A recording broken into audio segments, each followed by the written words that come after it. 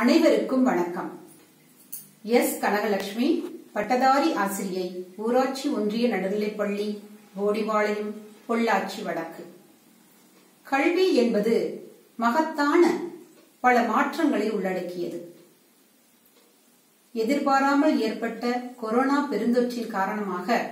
மாணவர்களின் கற்றல் தடைபடாமல் இருப்பதற்காக அரசு கல்வி தொலைக்காட்சி வாயிலாகவும் ஆசிரியர்களின் வாட்ஸ்அப் வீடியோக்கள் வாயிலாகவும் ஆன்லைன் கிளாஸ் வாயிலாகவும் மாணவர்கள் கற்றுக்கொண்டே இருந்தார்கள் செல்வத்துள் செல்வம் செவிச்செல்வம் அச்செல்வம் செல்வத்துள் எல்லாம் தலை என்பது வள்ளுவர் வாக்கு திரு கார்த்திக் ராஜா அவர்கள் ஆன்லைன் கல்வி ரேடியோவை உருவாக்கி செவிச்செல்வத்தின் மூலமாக அனைத்து மாணவர்களும் பயன்பெறும் வண்ணம் மிகச் சிறப்பாக செயலாற்றிக் கொண்டிருக்கிறார் ஆன்லைன் கல்வி ரேடியோவில் மாணவர்கள்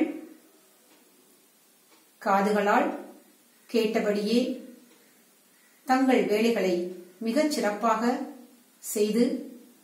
பாட அறிவை பெற முடியும் இதனால் அவர்களின் உடல் நலம் மனநலம் பேணப்படுகிறது கால நேர அட்டவணை இருப்பதால் மாணவர்கள் திட்டமிட்டு கற்றுக்கொள்வதற்கு உறுதுணையாக இருக்கிறது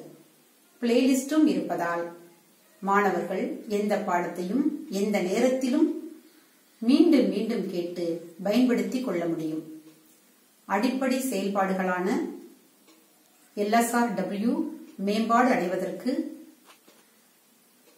வகை செய்யப்பட்டுள்ளது நவம்பர் பதினான்கு பண்டித ஜவஹர்லால் நேருவின்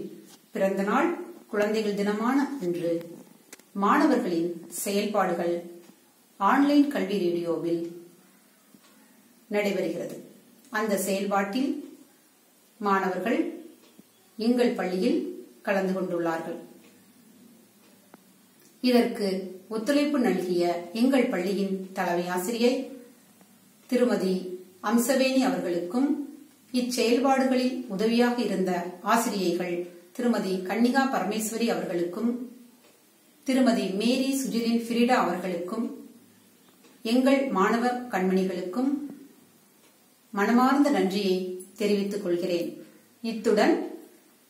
இந்த வாய்ப்பை வழங்கிய திரு கார்த்திக் ராஜா அவர்களுக்கும் என் மனமார்ந்த நன்றியை தெரிவித்துக் கொள்கிறேன்